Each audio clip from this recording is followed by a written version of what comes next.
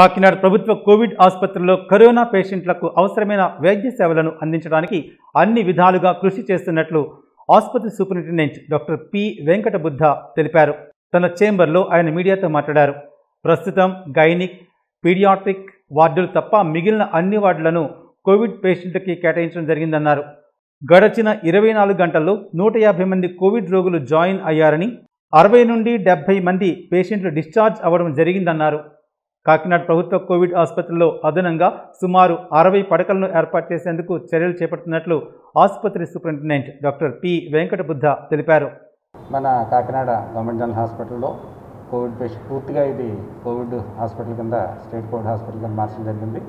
ఇక్కడ ఒక black emergency services తప్ప మిగతా అన్ని బ్లాకులని దాదాపుగా మనం కోవిడ్ కేసెస్తోనే మేనేజ్ చేస్తున్నాం. అలాగే మనకి ఇక్కడ పెడియాట్రిక్స్ విభాగంలో కూడా కోవిడ్ సోకిన చిన్నపిల్లల్ని ప్రత్యేకంగా మనం ట్రీట్మెంట్ చేస్తున్నాం. అలాగే గైనిక విభాగంలో కూడా గర్భిణీ స్త్రీలకి కోవిడ్ సోకిన గర్భిణీ స్త్రీలకి ప్రత్యేకంగా గైనిక్ డిపార్ట్మెంటు వాళ్ళకి వైద్యం అందిస్తుంది. మిగతా పేషెంట్స్ కోవిడ్ పేషెంట్స్ అందరూ కోవిడ్ క్యాజువాలిటీ నుంచి అక్కడే కోవిడ్ అటాచ్డ్ ఐసీయూ ఉంది. ఐసీయూ నుంచి మెల్లిగా స్టెబిలైజ్ అయిన తర్వాత మిగతా వార్డ్స్కి పంపడం జరుగుతుంది. మనకి దాదాపుగా ఒక పది వార్డులు అవైలబుల్గా ఉన్నాయి. SRMT ward S one S two S one S two S three S four S five S six cardiology orthopaedics medicine AMCU ఇన్ని వార్డుల్లో పూర్తిగా కోవిడ్ పేషెంట్స్తో మనం మేనేజ్ చేస్తున్నాం. మన యొక్క సిబ్బంది పారిశుద్ధ సిబ్బంది క్లాస్ ఫోర్ సిబ్బంది నర్సింగ్ సిబ్బంది హౌస్ సర్జన్స్ పీజీలు జీడిఎంఓలు అసిస్టెంట్ ప్రొఫెసర్స్ ప్రొఫెసర్స్ అందరూ కూడా ఈ పని మీద పూర్తి శ్రద్ధతో ప్రత్యేకించి రాత్రులు కూడా ట్రై చేస్తున్నారు. కాకపోతే మనకి ఎక్కువగా అడ్మిషన్స్ రావడం వలన ఈ మూడు నాలుగు రోజుల నుంచి కొంచెం రద్దీ ఎక్కువగా ఉంది. ఈ రద్దీ ఈ వారంలో తగ్గుతుందని ఎక్స్పెక్ట్ చేస్తున్నాం. డిసీజ్ తగ్గడం వల్ల.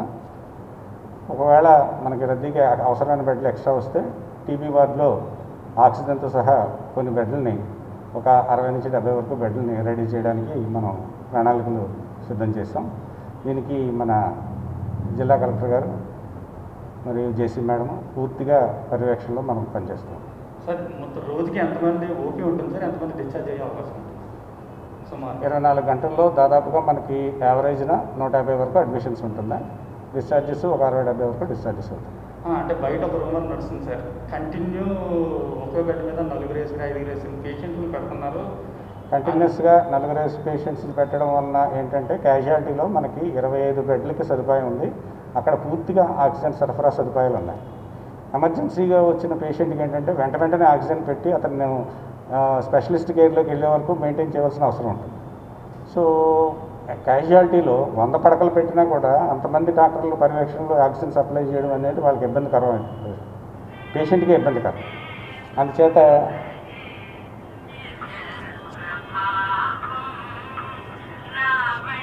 అందుచేత మనం ఏం చేస్తున్నామంటే అక్కడ ఎక్కువైతే ఎక్కువ కాన్సన్ట్రేట్ ఒక తర్వాత ఒక పేషెంట్కి స్టెబిలైజ్ చేసి మనం పార్ట్నర్షిప్ షిఫ్ట్ చేయడం వల్ల ఎక్కువసేపు క్యాజువాలిటీలో ఉన్నట్టుగా ఫీలింగ్ వస్తుంది.